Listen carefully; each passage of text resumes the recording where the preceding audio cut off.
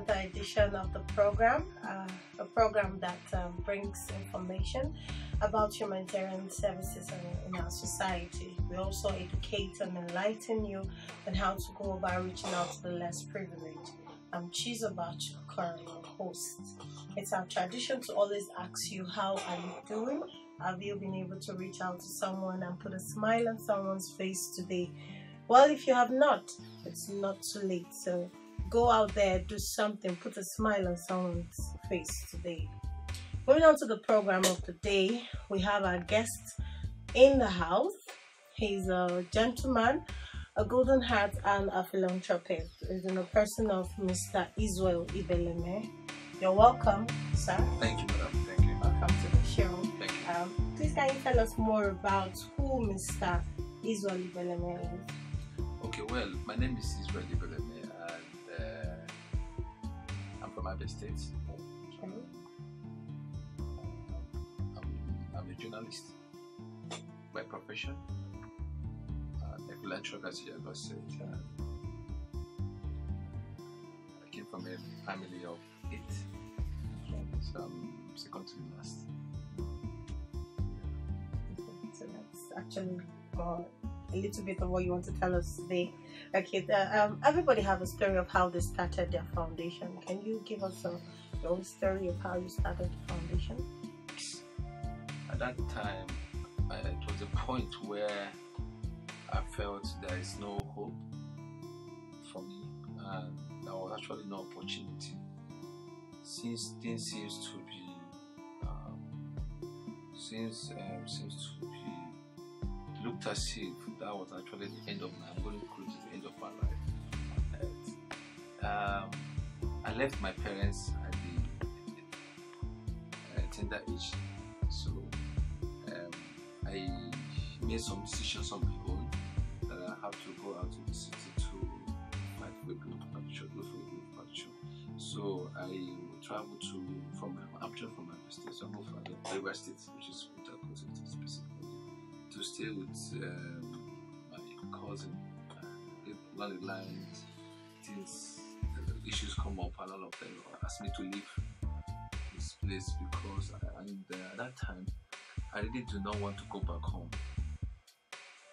I don't have a cell phone at that time, so I, um, my,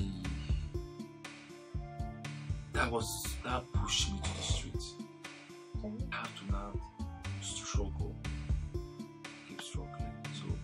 trek, you know, when you go into, I used to trek anywhere I'm going to. Uh, my square meal a day was 20 naira.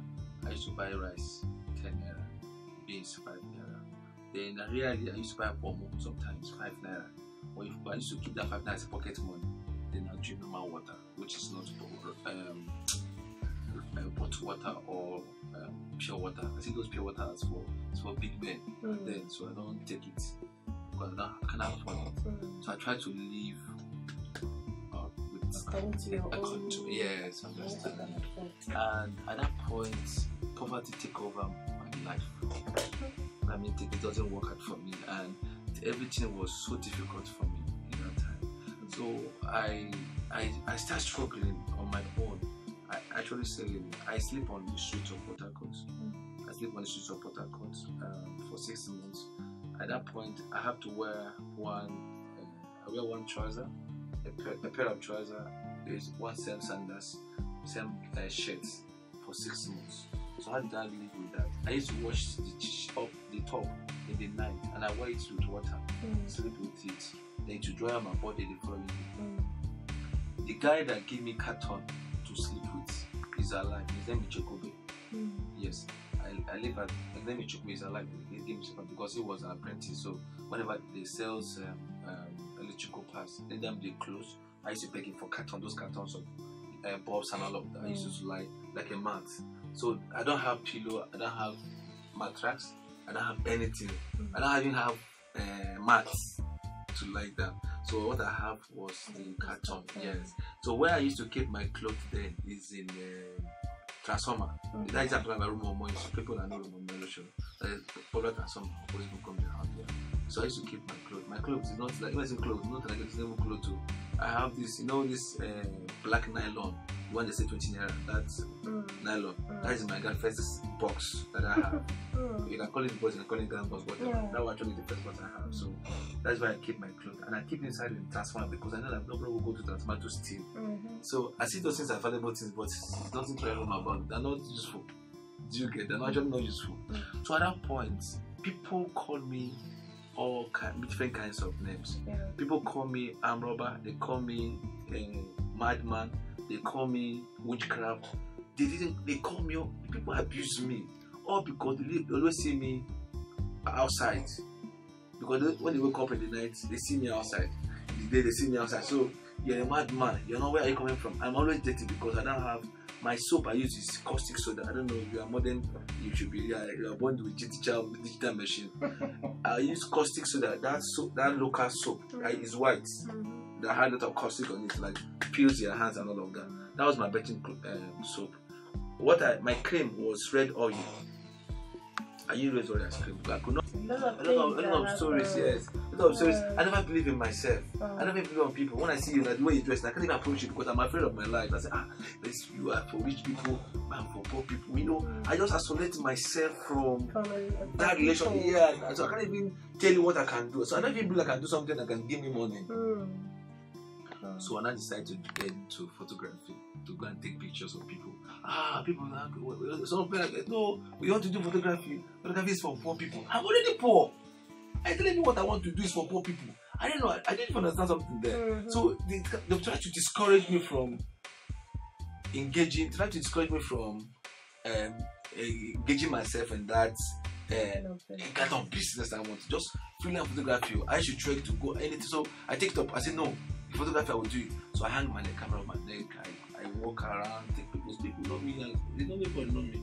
It's only people, a lot of people are alive. The first woman that advised me at that time, I me about her story. Auntie Anne, she's alive. Her husband kicked out of the house. The woman said, "How can you be? How can you be? Uh, how can you get close to this wretched, uh, homeless boy? You know, because her husband is a bank, a bank manager up to now. Then she, people were just encouraging me to grow up in life. Some people, like three persons, like, I always, I, I can remember. The girl that gave me math, the girl that always want to steal food from the house and give to me to eat, and the woman that advised me. These are the people that laid the foundation of my life. And then I came from a family, and my father is a pastor, so we have a lot of things in our house. And but what happened is that I didn't want to let them know what I was going through because if I ever let them know, they will ask me to come back home. I didn't want to go home. Do you understand me? In all of this now, God not help me, push me out of poverty. Mm. So one night I was sleeping. I have a, I, I dream, I dream a picture of my life. Mm. Everything about me. One, one night. And the that I had in my life, my or the that I had that night was that I asked you to go through all this because I know where you're going to. I have to turn back and know there is someone who is currently living the same life I have lived before. Mm. There is someone who has no clothes, who has no food. There is someone that, as I'm talking to you, that's sleeping outside along the road, Mhm. who has no roof over their head. Mm. I said, no, I have to go back and reach out to these people. So, what was your motivation at that time when all this was happening? What was your motivation? Oh, I, I had a dream, and I said, God give it to me my story. I saw my picture of my story like this in the dream. So that's made. I have to rewind. I have to. I have to remember where I'm coming from. God already, God actually blessing me. So I don't like a young boy now. You're running away. I know you are very busy. I said, no, no, no. This is where I'm going to. It's not my, my place. This is where I need to. be. So what did happen is that it's on 2000 2006. I started something that looked as the foundation. Honestly speaking, if anybody tell me that today that they I to be like Israel Ibeleme Foundation, I won't believe it because I started something that I have passion for, not something that I have. I, we organize or we have a group of people that advise me. Nobody advised me. One day I say, oh, I'm going to reach out to people because I know that that area where I lived before, the area where I lived before, a lot of people are going through are going through problems and all of that. So I said, okay, I'm going to reach out to some people. So I have to I saved seven thousand naira. So I'm going to use it to buy rice. Rice was one thousand five hundred a bag. So I plan to buy three bags and other tomatoes and all that. Tomatoes a carton was nine hundred naira then. So I I, I put that money together. So while in the store, a woman walked to me and said, Ah, this small boy, what are you doing with this all these items, all items? I said, I want to give to people. He said, Hey, you want to give to people? So I supported with ten thousand. That was the first time I received ten thousand. I mean for that woman, I don't know what she up to now. Ten thousand naira. So and I had 30, uh, seventeen thousand. So my doubled. Mhm. So, and I used the opportunity to reach out to so many people. Do you understand? Yeah. No, it wasn't a foundation at the- at the- As of that time, of that time. So- So, the next money I invested was 20,000. The another one I invested was uh, 30,000. And on and on and on. But Okay. before then, that time I was going through that problem, I was going to watch people's clothes. Hmm. The elderly people. Some of them are still at my bed. I, I want I want to I had to wash their clothes. I was washing their clothes. I go and fetch water for them. People abused me. People abusing me. Discourage made me abuse like discouraging you. Ah, yeah, my oh, uh, grandmama, son. You know, tell you some things that make you to stop what you want to do. Like nice people in the society, but the words they hear on a daily basis make them Mm. not to get involved with anything. Hmm. Do you understand? Yeah. People abuse me. At the point, I have to start cooking for them. I cook in my house, and I'm on you that time. They will, they will give me. I claim money from them. I cook in my house. I go and give to them. From there, I will eat. So when, when did the foundation start? When did you start the foundation like properly? Like That was about 2008. 2008. 2008 properly. Okay. Properly, Yeah. properly, 2008. Okay. Yes, I started in 2008. That was in my place, in my home place. Okay. In your home place, Yes, yeah. started Yes. full time. Yes. And tell us what you do in the foundation. What are those things that you can be identified? You know that the foundation do. No, it's also about it's Israel Ibeleme Foundation is, is about uh, community development project that we, we back on community development projects and human capacity building. Do you understand? Um, coming from my story, you know that you need to help people to grow, and at the same time, need to build people. You understand? Yeah. So what we what you embark on because most of my projects have um, there's skill acquisitions like you have to train people and have empowered in so many ways in maybe through uh, the first time I started I started with cassava grinding machine Okay. there's some elderly people in my place and some youth that are not working so what I did was to those youth I bought what they call fertilizer to pump tire Hmm. I buy fertilizer for them they are pumping tire then the elderly people. I will I purchased I, I bought uh, what do you call it? Um, I bought a ca- cassava grinding machine. But they can't work they can't go to farm so they can grind cassava and get like 10 naira, 20 and all of that to sustain themselves yes. So then i've done that. Then I, sewing. I, I provide um, sewing machine for so many of them and all of that. Then food items. We've done that several times like food items several times. Uh, scholarship. I have a scholar who's also a graduate so through my foundation as well i graduate as well primary school secondary schools we give people scholarship in so many ways then um, we train people in fashion design we equip them we give them all the all the equipment they need so what I do is eh, when you when you give someone um, when you when you give them um, equipment, we don't let them go like that. So we provide um, training training hmm. for them to let them utilize that. Yeah, yeah exactly. Then um, not too long ago, in like a year before uh, last year, in Nasarawa State, I built two shops. Two shops. I built one for a Muslim. I built one for a Christian. Because I don't believe that. I, I, am trying to. I'm not to set a, set a standard. Hmm. You don't look at people based on your religion, where you're coming from, or your Mhm. family members, and all of that. Yeah. You want to give, you give from depth of your. So it, we don't. We should unite. Unite. We should be united. Do you understand me? Yeah. Now I give I give um I built um um two three shops the two shops sorry one for Muslim and one for Christian and I equip it I equip the shop to provisions and all of that so go there and they're doing very well so yeah uh, community provide the land then we build the shops Okay. yes Okay. then uh, in that same area I trained um I trained uh, um five um students on fashion design. So I have to go to a company which into the, the fashion design company. I pay them for a year, six months for training. They are graduating this year. At the next month, they call me for they called me for their graduation. Hmm. Yeah, they're graduating. Maybe I can invite you. I'm going there. Yeah, they- they're graduating this next month, August, right?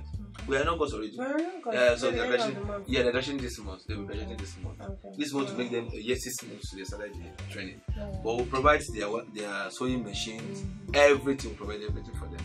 So so on and on. We have done a lot, and I don't know where to. how do you source for funds? Basically, that has been a major challenge. Okay. Yes, phone has been my major challenge. I've been able to do what I have done because it's a passion.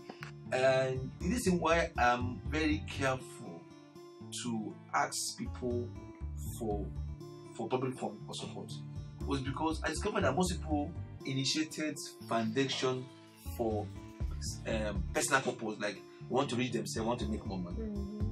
So in quotes, I don't. A lot of people are approaching me. Ah, you've done. You have a lot of evidence. You have a lot of things. Let's just go to this organization and collect money and all of that.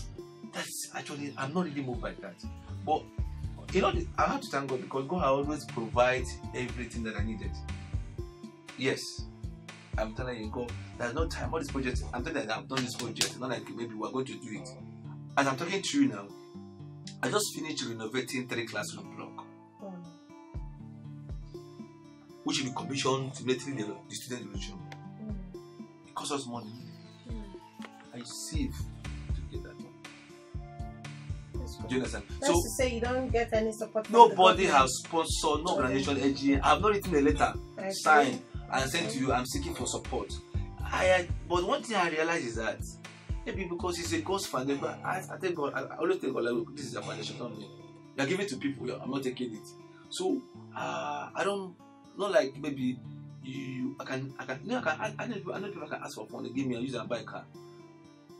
Maybe this is my 12 to 13 years on this project. Mm. For 2006, that is primary. 2008, fully. This is 12 to 12, 11, 13 years on this Mm. project. And it's keep counting. So just imagine if I, use, if I was using it for um, fundraising.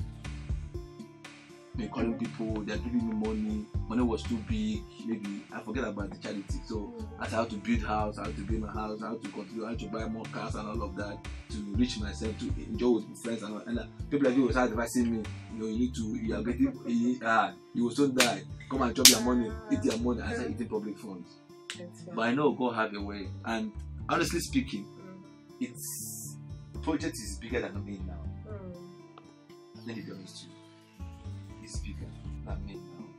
Because the amount of money that I needed that I need for a project is heavy is huge. So I need people to be part of this project. People that are sincere. But before we come to that, being uh, telling us the project that you have on hand, uh, do you have volunteers? People that Yeah, well, well, I have volunteers. I need to need more volunteers. you still need more volunteers. Yes. Okay. Sincere volunteers. Do you have any criteria? Any criteria for volunteers to join? Anybody that wants to join? Do you have anything like you must have this, you have to be this, you have to be that? Do you have any criteria like that? When you go to church, the pastor tells you, well, uh, you have a criteria for you enter the church. Charity is from the heart. okay. Does not have qualification. Yes. Now you have you Humanitarian is something that came from their heart. You must have a sense of human. Yeah. You must know that this is charity. Something that you must have passion. This is a charity. You must have passion for it. Something like I need to help, not for myself, for someone else Someone to else. survive. Okay. Yes, I want to contribute not from my own selfish interest, for someone to survive. Mm. Yeah, that is policy. Yes. So coming back to the project, you have you were talking about you have a lot of projects Yeah, I have hand. a lot Can of you be more specific about the projects you have at hand right now? Yes. Uh, I'm, I'm, I'm actually I'm planning, to go to Plateau to visit some people in Plateau in IDP camp. That's been a long time project for because there's no funds. Yes, uh, we have some of the requirements. Then I'm trying to set up a skill acquisition center. So instead of uh, training people there and there, you can have a place where we train people together, yes, together. And it will be constant. That will be constant training. I need that to be done. Yes, I want to plan for that with the skill acquisition center.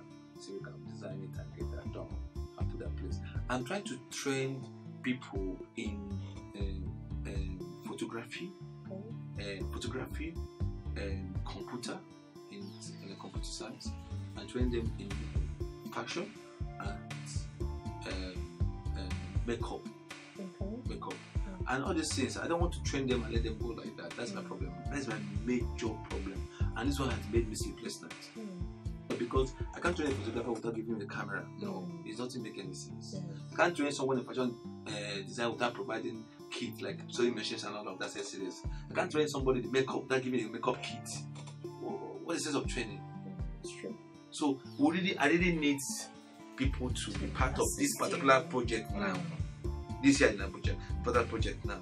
That makeup, the fashion design, the photography, and the computer. Like I train on computer without giving a laptop. No. So you have to, when you train them, you must give them. I always mention when I, I don't equip them. Yeah, they have to start off with that. Mm. Someone dashed me a small MF2 camera. That what I started with. And the person bought it then at 200 naira. Mhm. So that was an empowerment. Okay. But I utilized the opportunity. Despite the problems along the line, don't do it, do it, do it, discouragement and all that. But keep pushing.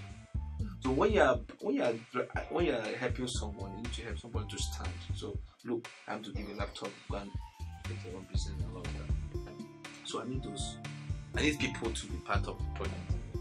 Yes, this particular one, the skill acquisition center, uh, Um, okay. Uh, what um how can these viewers out there how can they connect with you? Do we have any um, contacts? That Yes, yes. Um, maybe this week we'll launch our website, okay. uh, Israel Ibeleme Foundation org. Yes. Then we have an email. You can email us, Okay. Israel Ibeleme Foundation at yahoo.com. We're on Facebook. We're on Twitter. Uh, we're also on Instagram. Uh, people can Google to know what we are doing, what we have done in the past. So there's stories, Vanguard, and all of that. Okay, there's no reason why we're back on the project. Okay, the, my we also have the number. Mm. Uh, So, okay, the numbers are displayed on the screen, the numbers that you could reach the foundation. And uh, as you said, it, they need assistance. So, they need people to join them and, you know, work on this project that they have. Um, on a final note, do you have any advice for people who want to join or do what you are doing? You know, any word of advice, anything that you have to tell them? Be faithful. Don't be afraid to fail. Trust and believe in who you are. Be strong in spirit. Believe in yourself. Maybe I'm a problem dignity. Do what you know you can do best. Bless those you know you can bless.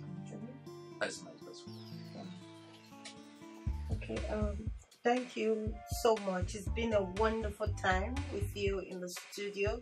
It has been Mr. Israel Ibeleme in the studio, and um, we want to thank you for coming. We hope to have more of you.